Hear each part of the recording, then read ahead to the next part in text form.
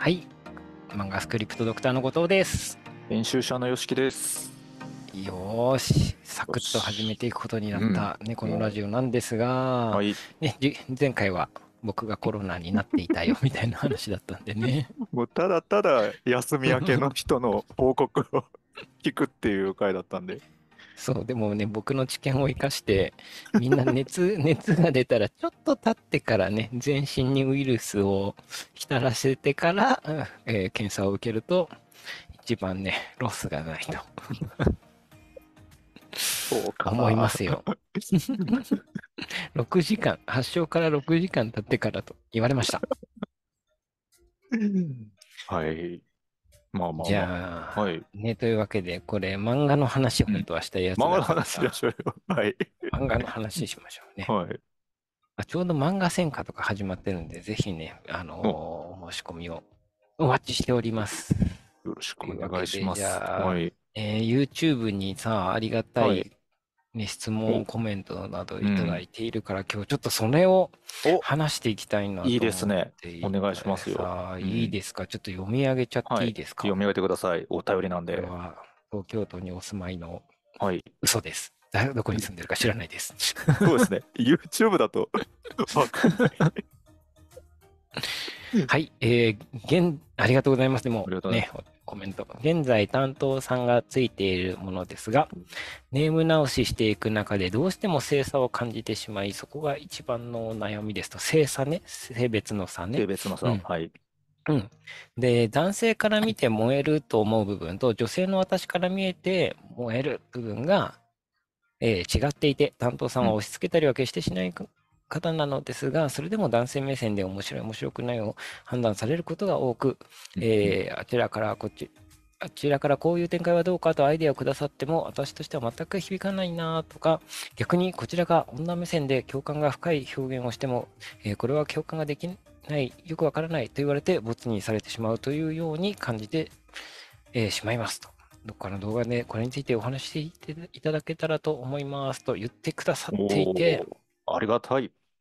めちゃくちゃありがたいよね。そして興味深いよね。うん。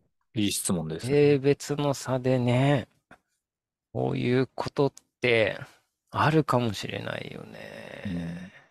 あるのかな？え、僕聞かれたけど、いきなりどう思う？吉木さんっていう。え？答えるんじゃないの？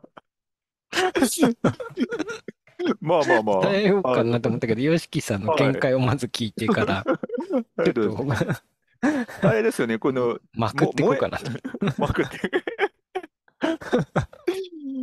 あの、うん。だから、あれですよね、もうその男性の編集者さんが、もっとこう、うん。がん、ガーっていきましょうみたいなのを言ってて、女性うのん。方が、おガーってこうかなと思って書いたら、いや、ちょっと、うんみたいな、そうじゃないんだよとかね、燃えるの部分が違うのかもしれないね。違うんだ。ようん。っていう話ですよね。で、うん。まあ、あの、個人差、当然あると思いますけど、うん。性差は、これ、これ僕ぜ、絶対的にある派だと思うんですよ。おお、うん、いや、なんかその、面白い。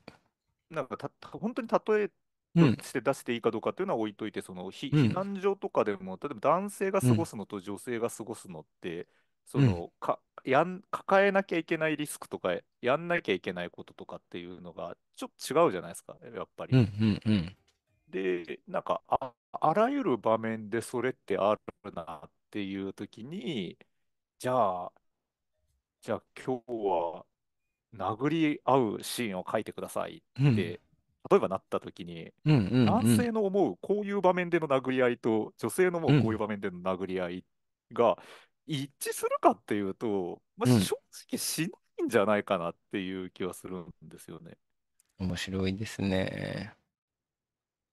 面白いですね。だ、だから、そうな、はい。で、そうなった時に、まあ、どう、どう埋めるかっていう問題になってくると思っていて、言葉だと多分無理なので、まあ、なんか例えば他の先生が書いたサン、サンプル的になんかぼ僕の思う熱く殴り合ってるシーンはこれですうんみたいなのを見せるとか、何らかその精査があるっていう前提で埋めに行く作業はしないとなかなか厳しいんじゃないかなって思うんですよね。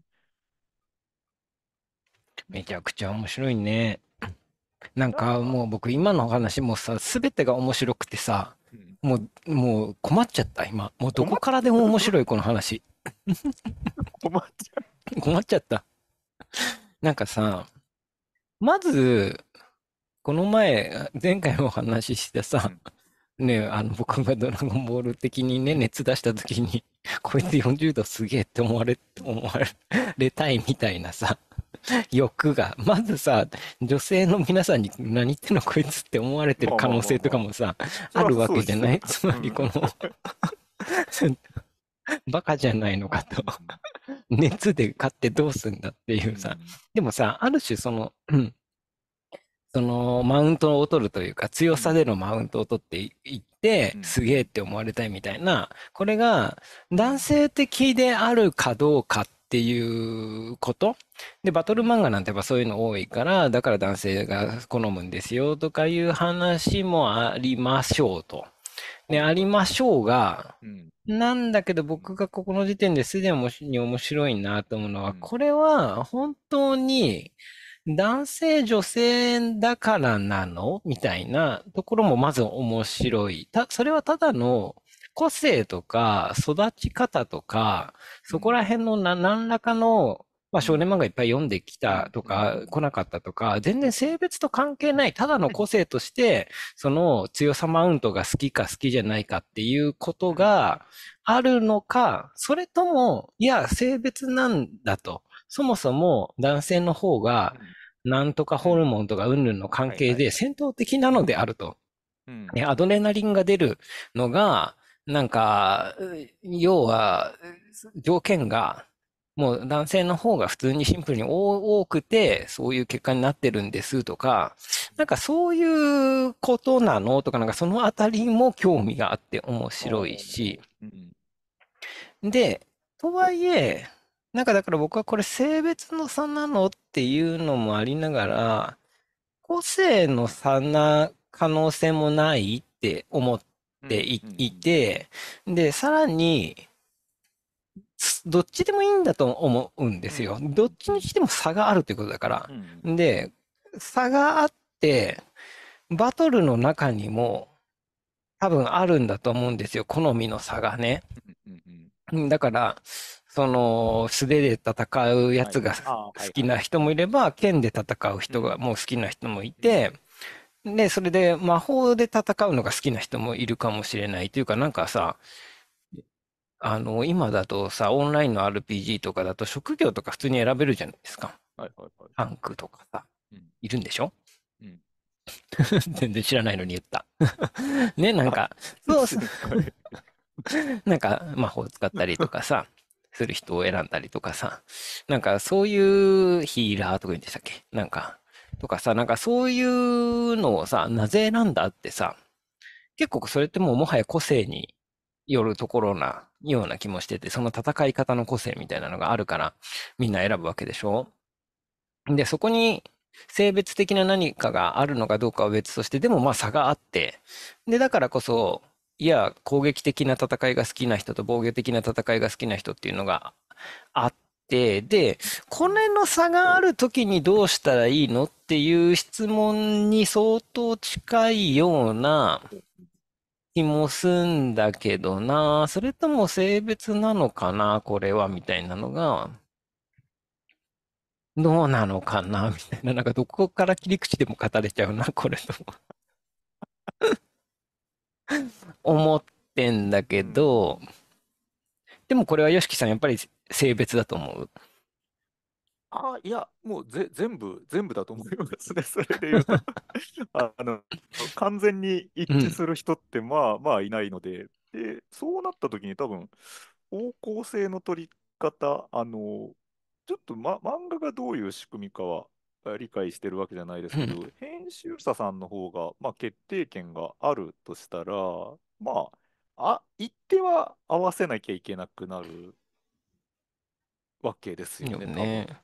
で、その、あ、合わせるっていうのは別に悪いことではなくて、まあなんかこうやったらもっと良くなるとか、もっと伝わりやすくなるとかっていうものが、なんていうんですかね、その通りにやってみたら、あ、確かにっってなれば、なんだろう、編集者の指示に合わせた結果、良くなったっていうことでしょうし、なんか、言われた通りやってみたけど、ダメじゃん、人気も出ねえじゃんってなったら、合わせた結果、ダメだったっていうことになると思うので、えっと、この、この文面だけ読むと、まあ、編集者の言うフィと変フィーリングが合わないとか、バイブスが合わないとか、なんか、なんかあいつの言う通りにやろうとすっけど、全然噛み合わないっていう状態なのかなと思ったので、そね。それで、あの、なんか最初の見本見せるとかした方が、もしかしたらこの編集者の人の方はいいのかなって思ったっていう。本当にそうだよね。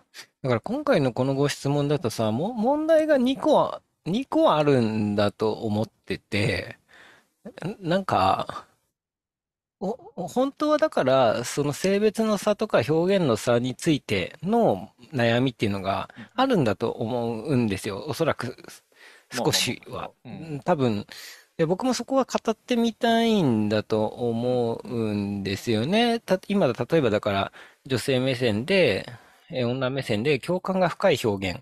うん共感が深いっていうのがもうすごい面白いんだよね。共感、確かになんか、わかるとか、うん、女性の方が共感を求めるっていう、うは言うけど、今やろうとしてる漫画で共感が、共感が深いってどういうことをやろうとしてるのかとか、なんかそこら辺も面白い議題だなと思いながら、もう一個問題は、編集者と合わないっていうことだと思ってて、ね、好みが合わないっていう、そうなんこっちのですよね。方がでかい話になっちゃうよね。そうなんですよね。ただなんかこれって結構、うんまあそうですよねになっちゃうから、ちょっとなかなか初手で言いづらい話。そうだよね。編集編集者と好みが合わなかった時にどうすんのよっていうさ、うんのはい、いつでもあって、もうでも、あれですよね、その、言っても、ぼ自分の作品だからね、編集者の作品では、編集者の作品ではないから、やっぱり自分が書きたいものをしっかり書いていくっていうことが、やっぱり大事になってしまって、でそこでわからんって言われてボツになる場合は、分かってくれる人に持っていくしかないのではないかという、身も蓋もない。演じになっていきますよね。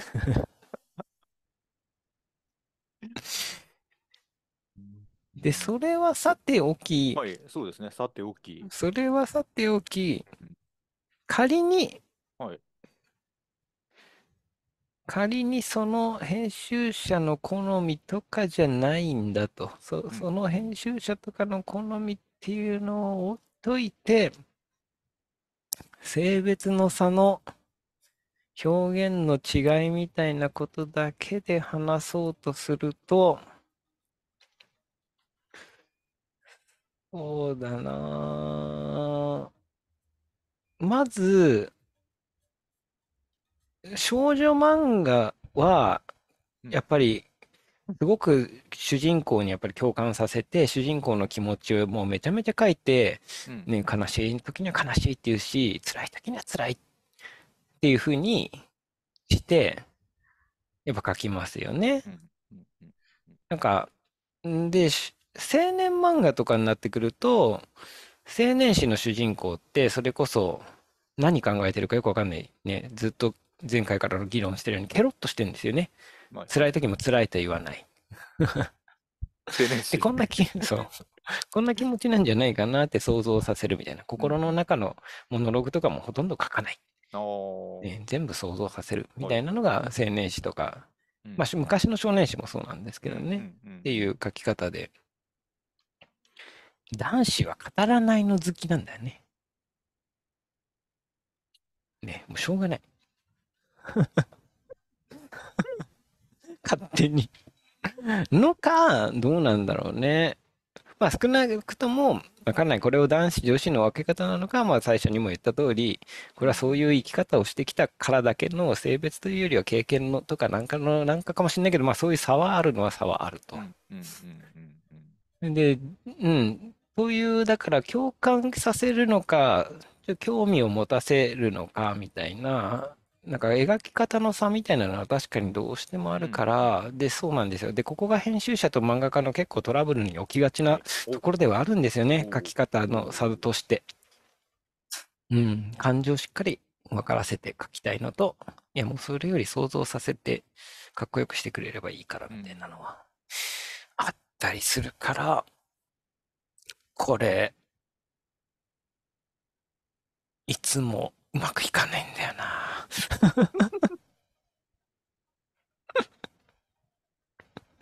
これほんとうまくいかないんだよな、このパターン。なるほど。いや、だから難しい悩みなんだよってわかるだけでも、これ本当に、うんだから、でもね、これ女性の作家さんでもそうなんですよ。女性の作家さんでも、やっぱり映像的な、映画とかはさはいはい、はい。モノローグとかもなければさ、やっぱり本物の人間って言ってもそんな伝わんないから、感情。うんうんだから、そその、やっぱり映画的な描き方が好きな人がいたと時に、もうもう何、主人公のキュンキュンを、恋の気持ちのキュンキュンを書いてほしいんですよとか編集者に言われても、はいはいはい。キュンキュン書くって何？みたいうん。な、なっちゃったりとかはね、本当によくある。うんうんことだったりするからね。この時には、うーん、まあわかるけど私はこういう作風なんですよねっていうこういうものを伝えたくてこういうのを売りにしたくて。でそれを引き立たせるにはどうしたらいいですかねっていうような感じで相談していくっていうことになるのかなうんと思っちゃいますね。そんなところかな。これみんなもどう感じたか うん聞かせてほしいな。そうですね、もう。これはでも、うんどの、どの世界でも結論出なそうなね話ではありますけど、まあでも本当に、この好みが違うともう、え。うんあ僕さ、昔さ、キャラクターの性格を決めるのっていうのは一体何になるんだろうと思って、お。性格とかをずっとさう、ん。考えてたんだけどさ、一番面白いなと思ってたのが、うん。脳内物、結局みんなの性格なんか脳内物質であるっていう、え3つの組み合わせの量、量なんだと。ノルアドネラリンとドーパミンとセロトニンのこの3つの特性によって、そのし出方、その出方のバランスによって性格って決まってくるんだっていうようなうん。話聞いてて、ああ、なるほどな、それ面白いね、と思ったんだけど、なんかそこら辺の、そそういうことでしかないのか、なんていうのかな、男女とかあんま関係なくて、ドーパミンが出やすいとか、ノルアドネラリンが出やすいとか、だからそういうような資質でそういう話が決まってくるのか。いや、それとも全然育ちで、だから女性だろうと、少年漫画のバリバリのドラゴンボールとかずっと小さい頃からなぜか棚にお兄さんやお父さんが読んでたからってって読んでて、こういうバトルが好きなんですっていう人もいる。つまり、やっぱ経ただの経験なのかとか、なんかそこら辺はなんかね、やっぱ、どうもに尽きないので、みんなどう思うって思った。投げっぱなしにするラジオですよね。でもあの少、少女漫画の担当の方って男性編集者って多多いんですよね。多いです多い。うん多いですよ。全然普通に多い。そうですよね。シシーゲルさんとか。シーゲルさんもね。うん。うん。そうなんだよな。だからずしも男性だとできない仕事かっていうと、そんなことはないはずってなりますよね。そその話で言うと。そうだよね。だから、そうなんだよ。そうそうそう。いろいろそこ、萌えポイントがどこにあるのかっていう話ので、そこはどうしてもどずれるんだよね。人の萌えはずれるかな。いかに自分の萌えポイントみたいな書きたいところをね、通していくのかっていうのは難しいね。うん。でも正直表現のところっていうのは尊重してほしいけどね。思っちゃうなまあまあまあ、うんそうです。はい。じゃあ、何にも答えになっていないのではないか。いや、でもこういう時こそ、あの、コメンコメントが欲しいですよね。コメントが欲しい。よね。そうそうそう。こういう時こそ。後藤さんがね結論出せなかったことは、コメント欄でなんとかしてほしい。難しいねって。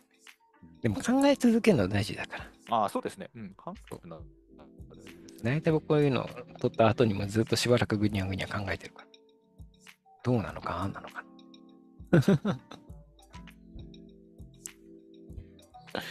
でもさ、うんあ、もうこの話いいか。まあでも僕一時期面白いなと思って、ノルアドレナリン、ドーパミン、セロトニンのぶ、ね、この出方によるうん 3, 3種類のあればさ、何通りかの性格パターンができるじゃないですか。うん3個の来中症。で、それでキャラクターを作ろうと、キャラクターの性格とか全部出せるんじゃないかのかな。いろいろやってた時期があったんだけどさ。なんか、よく言うじゃないですか。ノルアドレナリンが覚醒してみたいな。